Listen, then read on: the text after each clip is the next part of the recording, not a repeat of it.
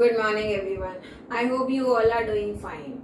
I hope you have practiced till question number 6 of exercise 6.1 and are remembering and learning all the squares from 1 to 30 as they're extremely important in your calculations.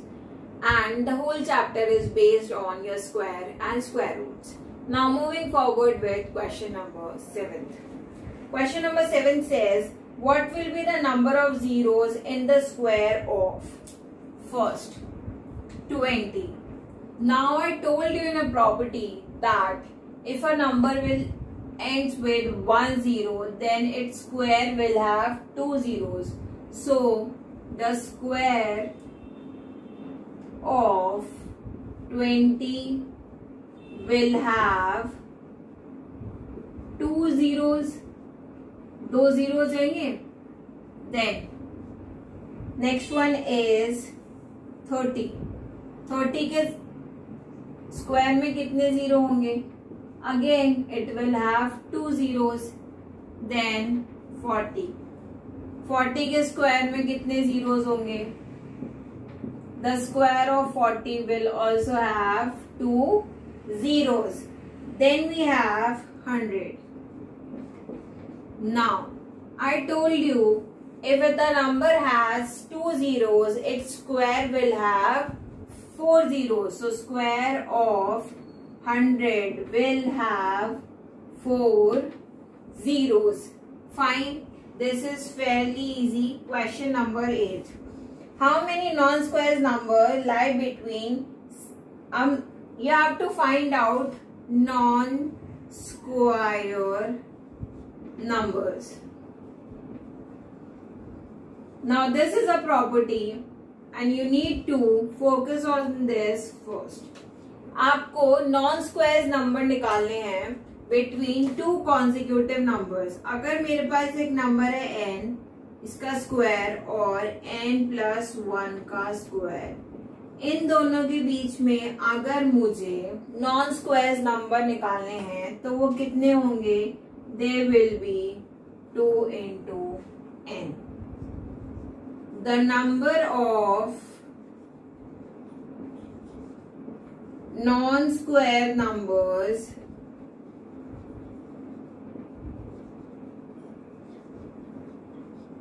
between two consecutive square numbers is two n कैसे? Solve करके देखते हैं कैसे आएगा answer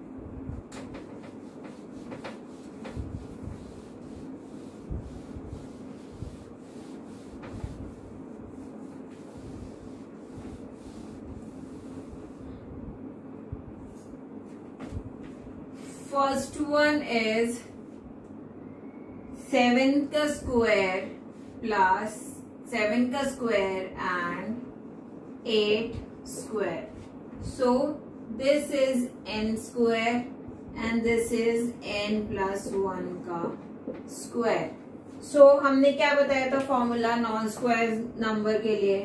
Number of non square numbers will be 2n which is 2 into 7 which is 14 हम cross check करके देखते हैं। सेवन का स्क्वायर होता है फोर्टी नाइन एंड एट का स्क्वायर होता है सिक्सटी फोर ठीक? So fifty 51, 52, 53, 54, 55, 56, 57, 58, 59, 60, 61, 62, 63. काउंट कीजिए कितने नंबर्स है one two three four five six seven eight nine ten 11, 12, 13, 14. So we have 14 non-square numbers between 7 square and 8 square. Similarly, हम बाकी parts करेंगे. Then you have to find out non-square numbers between 9 square and 10 square. So this is n square and this is n plus 1 the whole square. Therefore, non-square numbers will be 2 into n which is 2 into 9 that is 18. Third one. Third में we have to find out 11 square and 12 square के बीच के number. So this is n square this is n plus 1 the whole square. So, non-square numbers are 2n which is 2 into 11 which is 22. And the last one 23 square and 24 square. So this is n square again and this is n plus 1 the whole square. Therefore, number of non-square numbers is 2n which is 2 into 23 that is 46. तो आपको क्या property याद रखनी है? That between two consecutive squares the number of non square number is two n this is a thing that you have to make sure that you remember next अब बीच बीच में जो प्रॉपर्टीज़ आएँगी, उन्हें आप नोट डालकर लिख लेंगे ताकि आपको बाद में कोई परेशानी ना हो।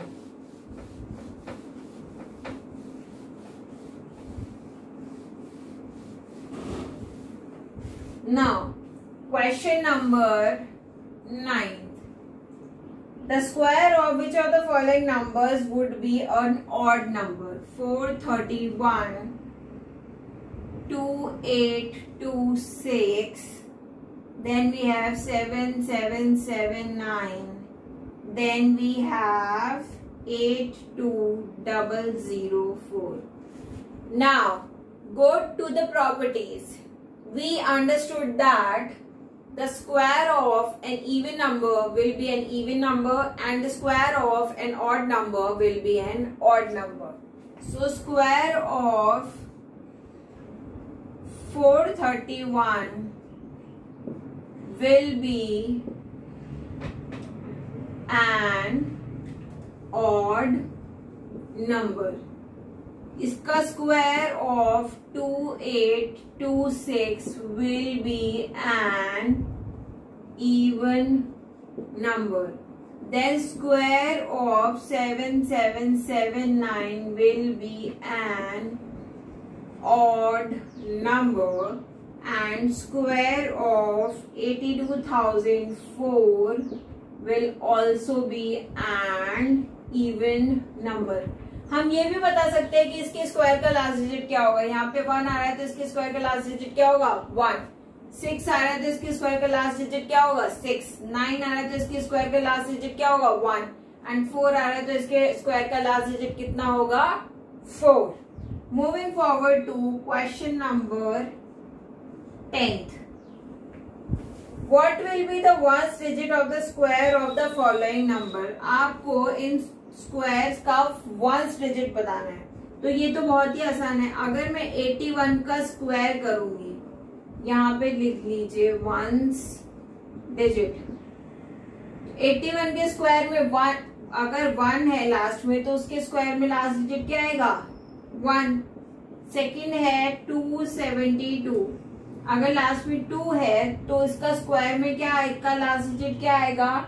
Four third one seven ninety nine. अगर लास्ट में नाइन है तो इसके स्क्वायर में लास्ट डिजिट क्या आएगा? वन कैसे? नाइन नाइन सा eighty one fourth one is three eight five three last digit में अगर थ्री है तो इसके स्क्वायर में लास्ट डिजिट क्या आएगा? Nine next one one two three four last digit अगर फोर है तो स्क्वायर का लास्ट डिजिट कितना हो जाएगा? Six then next one one two seven nine six अगर यहाँ पे लास्ट डिजिट वन सिक्स है तो स्क्वायर का लास्ट डिजिट भी क्या हो जाएगा? Six then next one five five five five five अगर किसी का लास्ट डिजिट फाइव है तो उसके स्क्वायर का भी लास्ट डिजिट कितना होगा? फाइव अब ये सब वही प्रॉपर्टीज़ हैं और सारी क्वेश्चंस प्रॉपर्टीज़ से ही बन रहे हैं। इसलिए you have to make sure that you revise all the properties very carefully and try to remember all of them ऐसी याद नहीं होती लिख लिख के याद करो। इसीलिए तुम्हें स्क्वायर्स याद लिख करके, लिख के याद करने को बोला है ताकि तुम्हें सारी प्रॉपर्टीज़ समाए, समझ में आ जाए। Question number eleventh the following numbers are not squares give reasons देखो 1057 then 2 3 4 5 3 4 5 3 then 7 9 2 8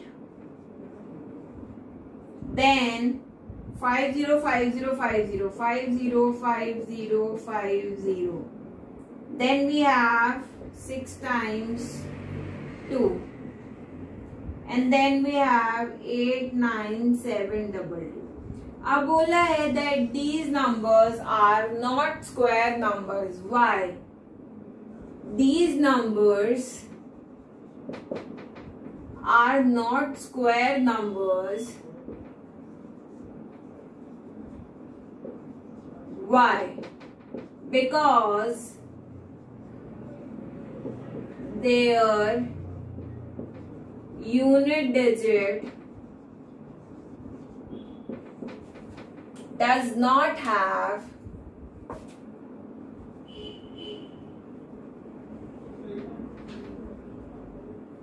one, four, five, six, nine और a pair of zeros. इसीलिए ये इनमें से कोई भी परफेक्ट स्क्वायर नहीं है क्वेश्चन नंबर ट्वेल्थ पैटर्न वाला है। क्या करना है? सेवन का square is forty nine then sixty seven का square is double four eight nine then six six seven का square is triple four double eight nine then six six six seven का square is triple four triple eight sorry here is triple four four times four three times eight nine then six six six six seven ka square will be five times four four times eight and nine then one two three four five ka square will be six times four then 5 times 8 then 9 and 1 2 3 4 5 6 7 इसका square will be 1 2 3 4 5 6 7 then 1 2 3 4 5 6 and 9 now you have to complete the rest of the patterns so this is your homework also that you have to complete remaining patterns of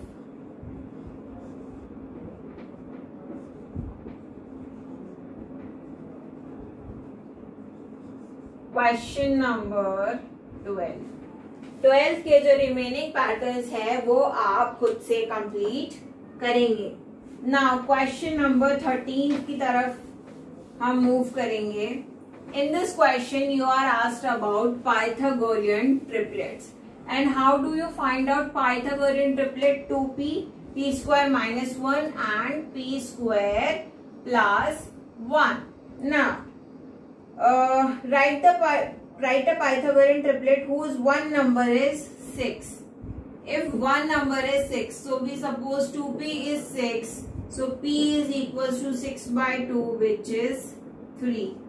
p square minus 1 which is 3 square minus 1 8 and p square plus 1 which is 3 square plus 1 10. अब ये 10 कैसे आया 3 का square 9 plus 1 10. Therefore the triplets are six eight ten क्योंकि एक triplet तो तुम्हें दिया ही हुआ है। ठीक है? सेकंड देखो। Twelve so two p is equal to twelve so p is equal to six so p square minus one is six square minus one which is thirty six minus one which is 35 p square plus 1 which is 6 square plus 1 which is 36 plus 1 which is 37 therefore the triplets are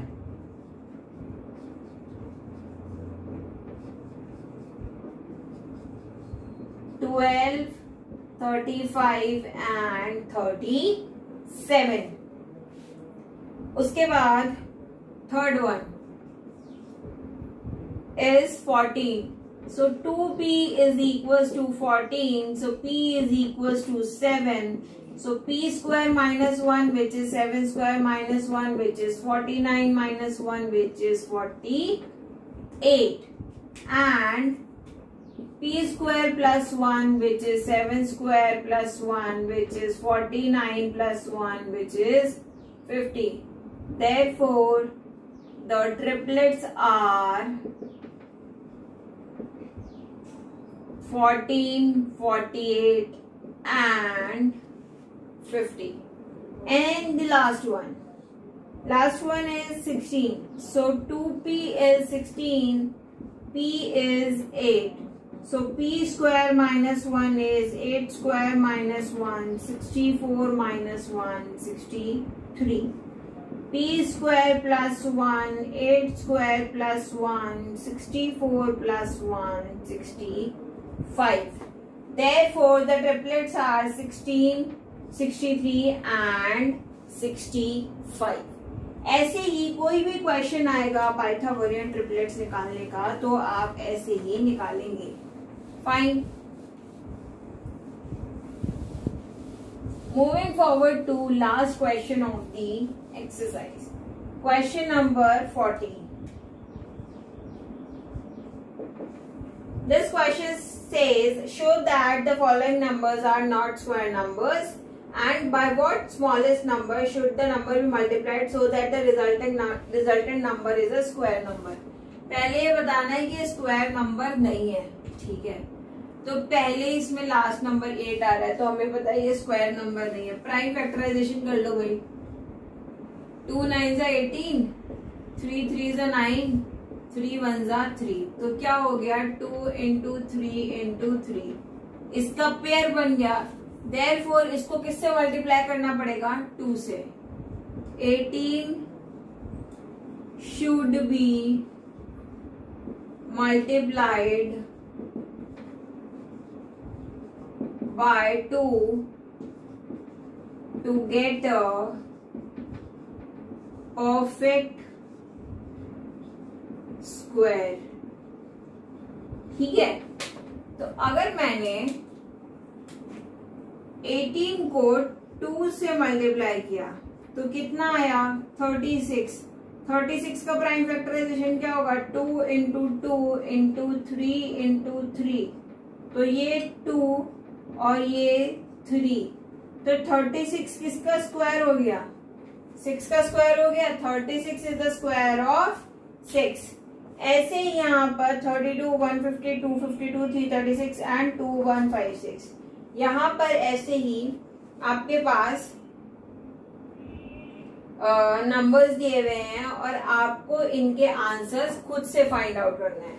So you have to complete remaining patterns of question number twelve and you have to complete remaining parts of